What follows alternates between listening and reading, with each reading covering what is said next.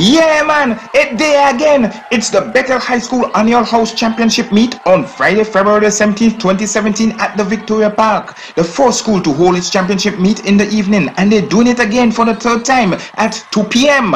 Will Jack the Green House and the Yellow House oh, or Finley the Blue House dethrone the reigning champions Williams the Red House. Come and see for yourself. Don't be late. Only $5 to get you through the gate. There will be enough food and drinks on sale with lots of entertainment like cheerleading and dancing. Come on, come on, come on out to the Bethel High School Annual House Championship Meet, 2 p.m. Friday, February the 17th, 2017 at the Victoria Park. It's a girl. Let we go. Let we go. Let we go. Let we go.